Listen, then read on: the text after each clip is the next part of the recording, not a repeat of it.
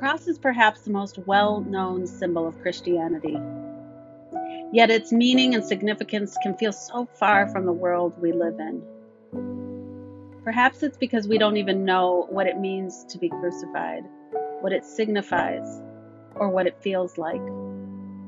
Perhaps it's because we're not in relationship with people who do. About four years ago, I was in a class reading The Cross and the Lynching Tree by James Cone. And in this class, half of the students were in prison. And I realized that I was actually sitting with people who understood more than anyone where Jesus would be if Good Friday were today. He would be convicted and condemned to a prison cell. I knew that moment that the cross would no longer be a distant symbol for me because I was in relationship with people who would have sat to the left and to the right of Jesus' cell. Because I was in relationship with people who were condemned to death, who've had their garments stripped from them, who've been betrayed. I was with people who understood what it meant to have a friend help lighten the load of a sentence, to have women come alongside you in the journey, and who knew what it felt like to feel forsaken in a God forsaken place.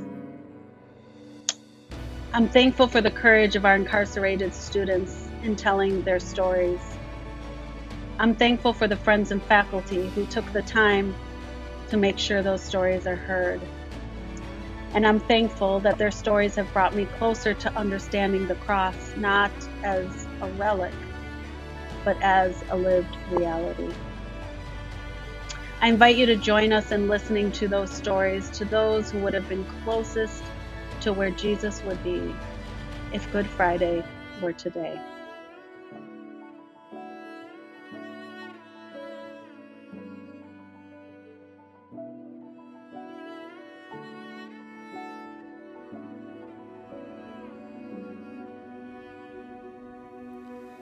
Three walls, some bars, and a cot. How did it come to this? B5, 9, 8, 8, 3. I am more than a letter in the alphabet and five numbers. My story is complicated, but it's not unique. Unfortunately, for too many, our zip code determines our outcome.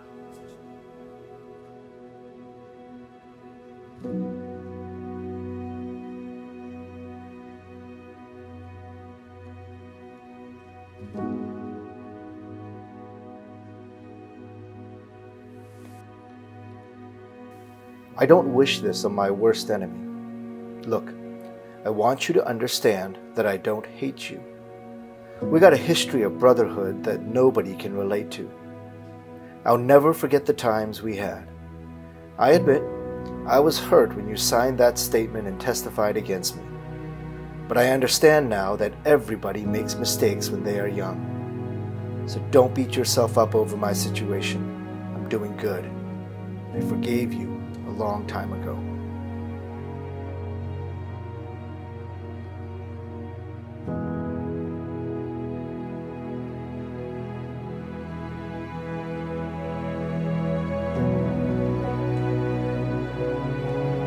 How dirty must the window be to prevent the sun from shining through? How cold must the walls be for me to need another blanket in June? How stale must the air be to taste the decay in the back of my throat. And how grey must the paint be to stifle the rays of hope? How forsaken must I be to hear my discreet prayers echo? And how hard must the bunk be for me to rather lay on the floor? How comfortable can a pillow be when it's soaked in my tears? How hurt must I have been to have taken 81 pain pills? How dirty does a window have to be to prevent the sun from shining through? Not that dirty at all the only thing visible beyond the window is a wall.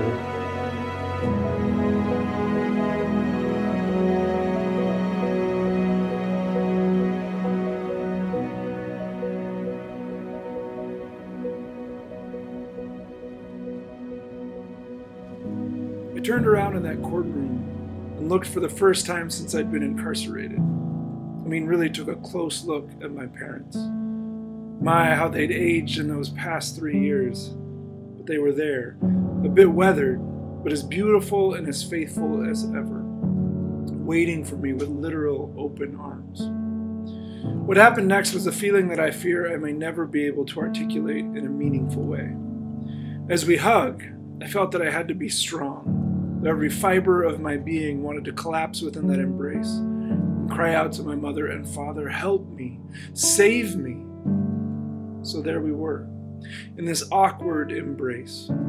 Awkward because it had been so long since I had felt its warmth, as in those first few moments after you've stepped out of a blistering cold into the warmth of your home. You're caught between that chill in your bones and that welcoming heat that you have labored for days to provide.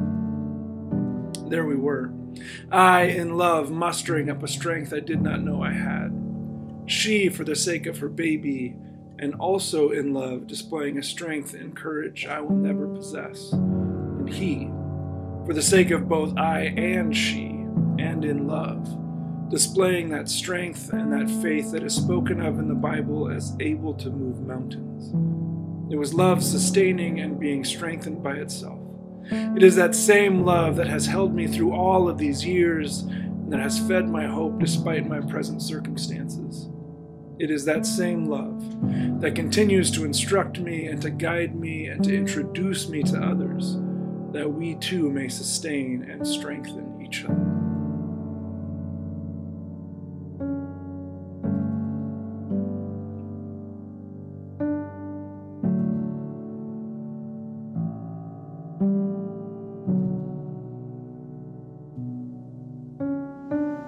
When you realize that your humanity and freedom is tied up in theirs, you begin to feel the weight of their chains. The day that I sat with my friends, my brothers, as they told their stories, I saw what it cost them to do it. I felt the weight of it because I had become part of their stories. I watched them support one another, carrying each other like no other community I've ever been part of. And that's when I understood that solidarity with one another is about fighting for each other's liberation, whatever that looks like.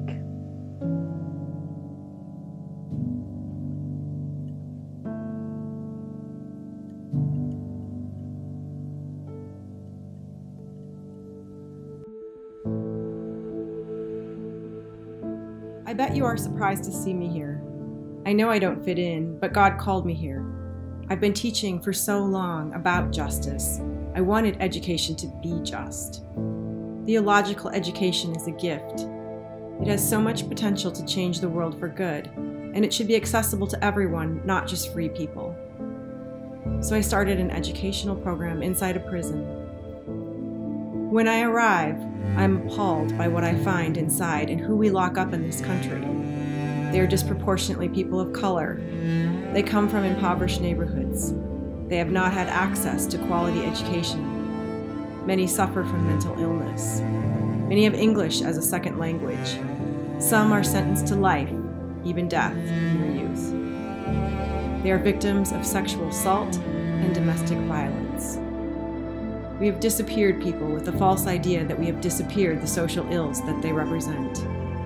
We have disappeared people through a system that is connected to unfair sentencing laws, black codes, convict leasing, slavery, racism. We have attempted to disappear our history, banishing it into the cornfields.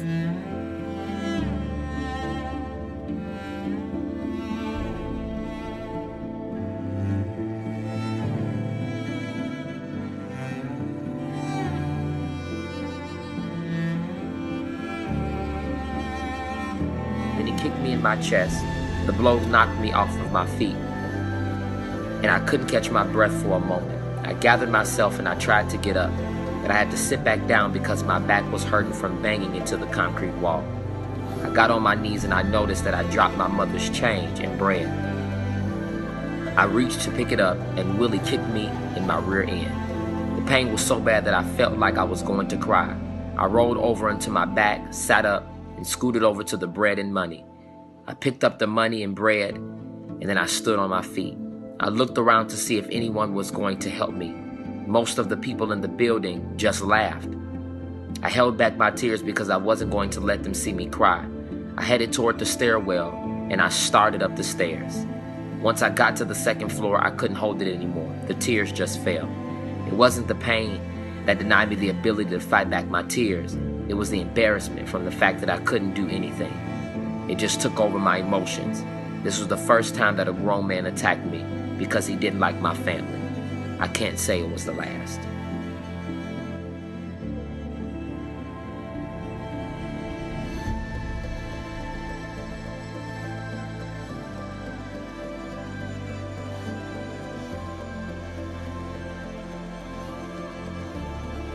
as I hang suspended and impaled upon a crucifix constructed by my own iniquitous actions, I languish in unfathomable anguish and misery.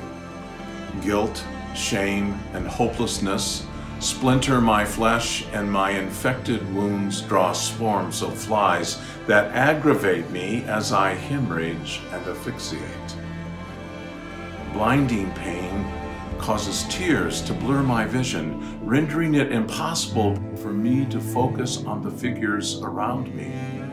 Terror seizes my heart and my savagely battered anatomy tenses, anticipating the next impact of violence.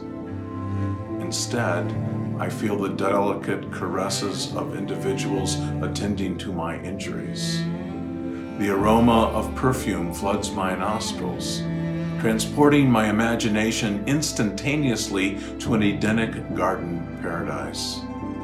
Soft, melodic voices whisper words of hope, peace, mercy, joy, truth, and life.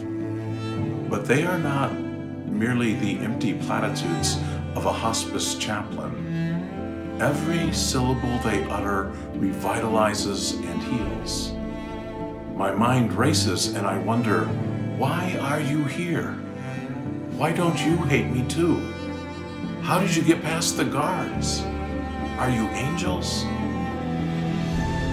As I look back over the 13 years of my incarceration, the vast majority of visitors and volunteers have been women. As much as our culture projects the image that men are more heroic and fearless than their female counterparts? My experience has been that women are far superior in their willingness to endure hardships, deal with trauma, and confront injustice. As the women at the crucifixion, the North Park superwomen are virtually all I see ministering to me as I'm being slowly tortured to death by the criminal justice system something my own family has never done. In conjunction with my crucifixion, these feminine phenoms are the only ones to witness my resurrection transformation. In fact, they rushed to my tomb fully expecting a miracle.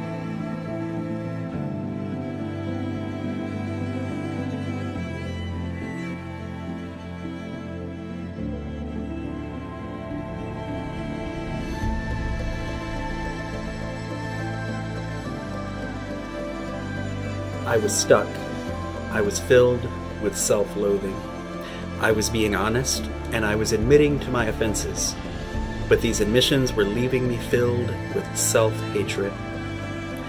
I hated looking into a mirror because I didn't like what I was seeing. Even some of my peers and group members were judging me as a sick person who should never be allowed out of prison. Out of fear, I would reoffend. I hated myself which led to hating others. I believe God hated me as well. But I began to realize that God didn't want me to destroy myself. He loved me, yes, and He wanted me to repent so that I could be forgiven, and I had to accept that. God didn't hate me, no matter how much I hated myself.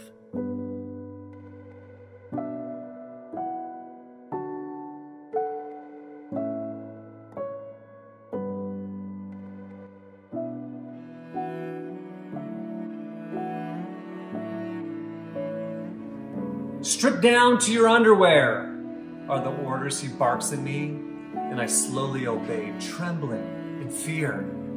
Fresh welts throbbed from the tender surface of my youthful skin as he whipped me with the black belt like I was a Hebrew slave. And hot tears of shame ran relays down my tiny face, each one racing behind the other as if they were trying to catch up while they jumped the hurdle of my jawbone and formulated a shallow pool of resentment in the fragile pocket of my collarbone. Facial contortions, sobbings, and utter bewilderment were the colors applied to my countenance by the paintbrushes of physical and verbal abuse as I stood there shaking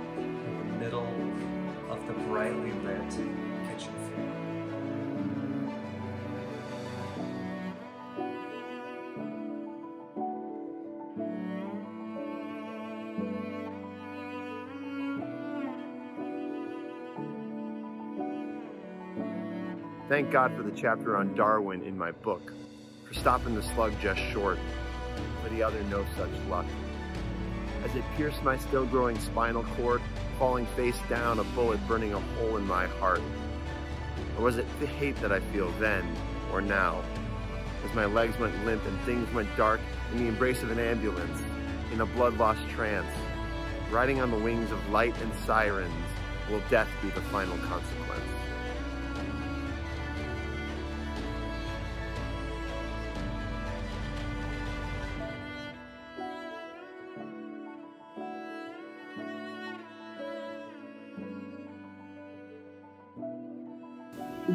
Hast thou forsaken me? You should not have taken him. Instead, you should have taken me. When they killed him, God, they also killed me. They stripped me of everything I have and left me for naked.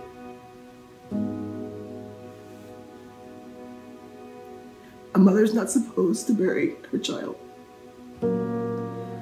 But today it seems expected. How am I supposed to change that for which you have ordained? If you will give me anything that I ask in your precious name, help me. I will never be the same.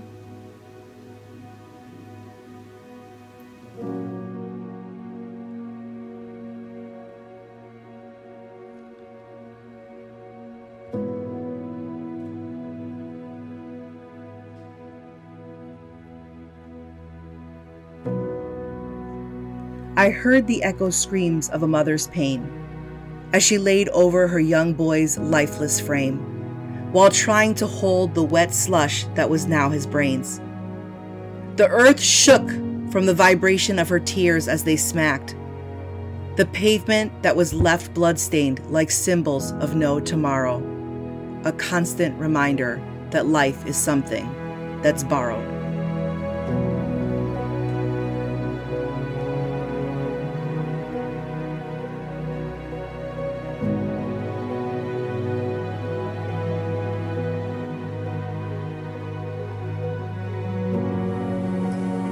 Wanted to meet with you because I wanted you to know, for what it's worth, how your son's death changed my life. What I have here in my hand, and please feel free to stop me whenever you like, or if you have any questions or anything that you'd like to say. These papers are referred to as a victim impact statement. These words were entered into the court proceedings during the penalty phase of my trial. These are your words, and I've read these words so many times over the years. You spoke lovingly about your son, whom you referred to as your best friend. I'll never forget that. You also spoke about your grandson, whom you assured me would be taken care of lovingly, financially, and developmentally. And you also spoke about me. And you said, I said that I hope you would see the error of your ways and decide to make a change in your life and make your life count for something rather than waste it due to wrong decisions and choices. You rejected the zero sum game and refused to label me, to put me in a category, to scapegoat me. You held the tension between them and us at what had to be the most difficult time in your life. Your words kept me from the depths of despair and depression. And every single day, I strive to honor them. I was incarcerated for approximately 20 years. Today, I am a graduate student at North Park University, studying to earn a Master's of Arts in Christian Ministry with the restorative arts track. Part of the work that I get to do deals with conflict transformation and conflict resolution in communities susceptible to violence. My dad was also shot and killed when I was just six years old. So growing up and knowing all too well the hurt and the pain of my own loss, I would have never imagined being part of an act that would cost another father his life or another son his father.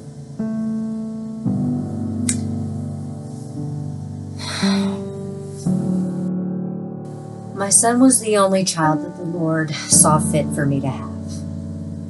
And I cared for him the best I could. A parent has to realize that after your children reach a certain age, you have to believe that, you've done the best that you can and leave them in the hands of the Creator. There is not a day that comes that I do not remember, feel, or see my son. We were the best of friends that either of us had. I am an old woman. I've seen the conflicts in our communities turned into someone else's property.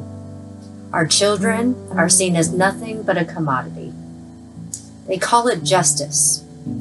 I have seen such a focus on the individual responsibility, but nobody wants to talk to you about the collective responsibility of society.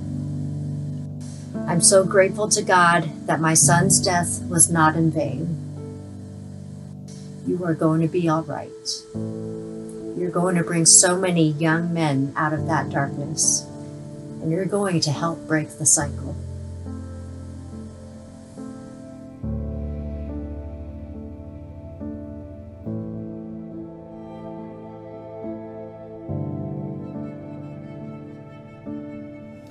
Every excerpt that was a part of these Stations of the Cross was written by one of our students at North Park's School of Restorative Arts. Many were from a redemptive storytelling cohort that we piloted this past year called Restory. They are read by the faculty and friends of the School of Restorative Arts. These stories, along with many others, were workshopped into a performance piece that will be performed this summer by actors at Victory Gardens Theater in Chicago. To learn more about Restory and the School of Restorative Arts, please visit the website at the bottom of your screen. The goal of Restory and its performances is to redeem the narrative around mass incarceration in a way that leads to God's restorative justice being enacted in our criminal justice system here in Illinois and beyond. We are people of story. And part of understanding God's story is understanding our place in it, both where we have been and where we are going. This is about changing the world around us and being a part of God's restorative work in our city, in our country, and in our world by speaking truth into a narrative that has been twisted and used for evil rather than being used for rehabilitation and restoration. This is about humanizing those who have been dehumanized and about integrating the narrative of mass incarceration into God's story rather than accepting the world's narrative about our prison system.